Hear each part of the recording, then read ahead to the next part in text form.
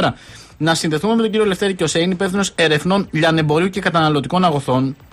Είναι ένας άνθρωπος ο οποίος γνωρίζει πολύ καλά αν και κατά πόσο συμβάλλουν τέτοια μέτρα, την ίδια ώρα που η Ελλάδα κάνει πλέον πρωταθλητισμό στην ακρίβεια των τροφίμων. Και η κυβέρνηση προφανώς αναζητεί αναγωνίως αξιόπιστες απαντήσεις ώστε να αμβλύνει τις συνέπειες της ακρίβειας. Κύριε Κιωσέ, καλησπέρα σας. Καλημέρα, καλησπέρα, καλησπέρα στου ακροατές σας. Λοιπόν, για πείτε μας, πώς βλέπετε αυτή τη μείωση, ε, μάλλον την ε, τοποθέτηση του ΦΠΑ μόνιμα εντός εισαγωγικών στο 13% στους συντελεστές που αφορούν τον τουρισμό, τις συγκοινωνίες και τον πολιτισμό. Θεωρείτε ότι θα βοηθήσει; Κοιτάξτε, χρήσιμο είναι, αλλά κατά βάση αυτό που έχει πρόβλημα το μέσο ελληνικό νοικοκυριό είναι τα τρόφιμα και τα βασικά είδη πρώτης ανάγκης, τα οποία έχουν και τις περισσότερες πληθωριστικέ πιέσεις την περίοδο αυτή.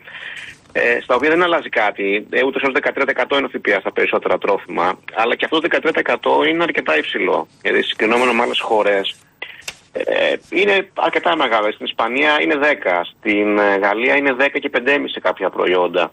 Στην Ιταλία είναι 5 και 4 σε κάποια τρόφιμα. Οπότε εκεί πέρα νομίζω θα ήταν ε, καλύτερο Εσείς λέτε λοιπόν ότι η λύση είναι η μείωση του ΦΠΑ στα τρόφιμα.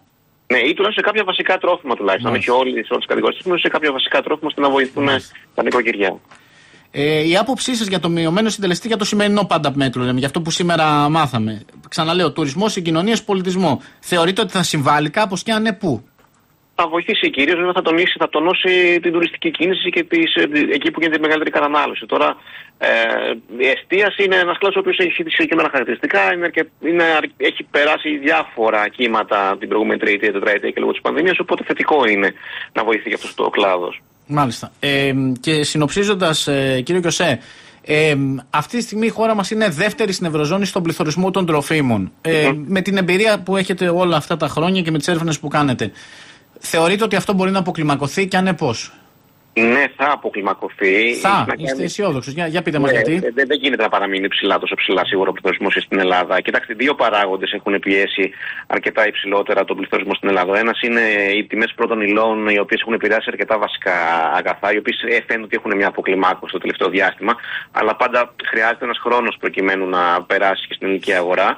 Και το άλλο έχει να κάνει με τα εισαγόμενα προϊόντα, τα οποία επίσης είναι αυτά που έχουν κρατήσει υψηλότερα ε, τον πληθωρισμό στην Ελλάδα σχετικά με άλλες χώρες. Και σε αυτό φαίνεται, με βάση τους δείκτες που έχουμε από τη Eurostat, ότι υπάρχει μια αποκλιμάκωση μικρή, ε, μονοψήφια σε μικρό ποσοστό το τελευταίο τετράμινο, αλλά και αυτό πρέπει σιγά σιγά να περάσει στην αγορά. Οπότε όταν αυτοί οι δύο διεθνείς παράγοντες αρχίσουν και εφα... κάνουν την εμφάνιση στα, στα τιμολόγια των επιχειρήσεων, σιγά σιγά το δούμε και στα ράφια των καταστημάτων. Μάλιστα, κύριε Κωστή, να σας ευχαριστήσω πολύ.